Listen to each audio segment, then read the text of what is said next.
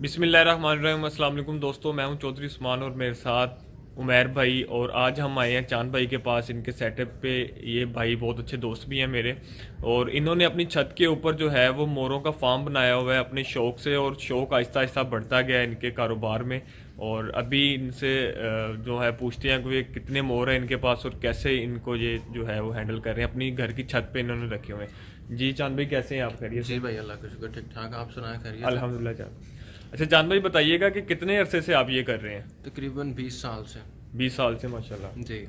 सही तो शुरू में शौक से करते थे आप? हाँ जी शौक से छोटा सा होता था तब वाला साहब लेके आए थे। हम्म, हम्म। तो उसकी उसी शौक से फिर आगे एंड तक सिलसिला चलता जा रहा सही सही माशाल्लाह।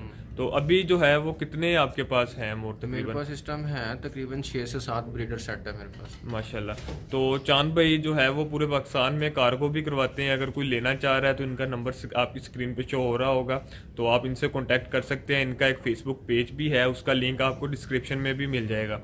और इन्होंने ये आप पीछे देख सकते हैं, छत के ऊपर लहदा लहदा जो है, वो बिल्कुल छोटा सा सेटअप और बड़ा बेहतरीन करके इन्होंने लगाया हुआ है। तो चाँद भाई इन सर्दी में क्या सीन करना पड़ता है? जब अभी थोड़े दिन तक कि मैं ना इनके तरपाल वगैरह लगा दूँगा। सही ऊपर। तो हाँ जी ऊपर तरपाल वगैरह लगा देंगे। तो जब धूप निकलती है वो हम साइड पे कर देते हैं हम्म। और जब रात होती है तो हम नीचे कर देते हैं। यानी कि कोई कवर कर देते हैं। इशू नहीं होता कोई ने नहीं कोई ज़्यादा सर्दी से कोई इशू हाँ, नहीं होता। ऐसे ही। सही तो ये अंडे वगैरह कब देना शुरू हो इनका सीज़न शुरू होता है फरवरी मार्च से लेके आगे तकरीबन अगस्त तक।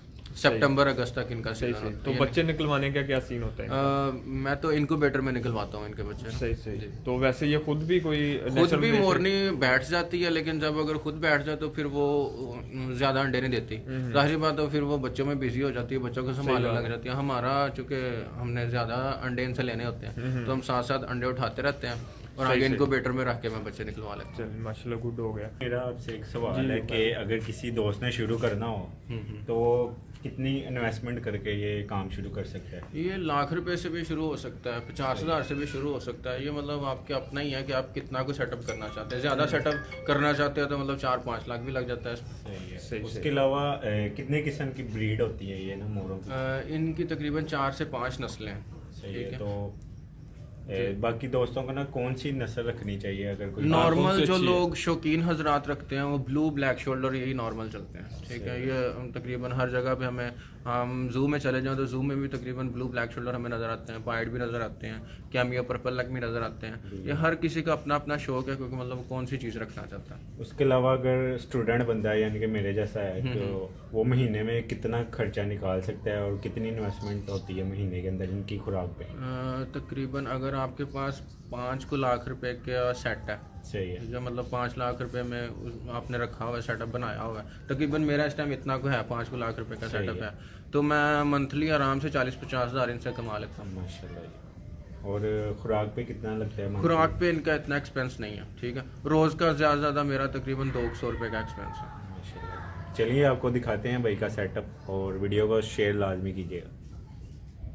जी चाँद भाई इनके बारे में बताइएगा। ब्लैक शोल्डर मेल है ठीक है। और ब्लू की फीमेल है दोनों। ठीक है। और इनकी एज वगैरह बता दें। मोर की एज है तकरीबन पाँच साल फीमेल भी तकरीबन इसी एज की है चार पाँच साल। सही। यानी कि ब्रीडर पेयर है ये हाँ भी ये ब्रीडर पेयर है इस टाइम मेरे पास सारे सही तो इनकी प्राइस क्या है जो आपके पीछे नज़र आ रहा है? ये तकरीबन है तीस से पैंतीस हज़ार रुपए का पेयर तीस से पैंतीस हज़ार का पेयर है। सही फुल ब्रीडर ठीक हो गया।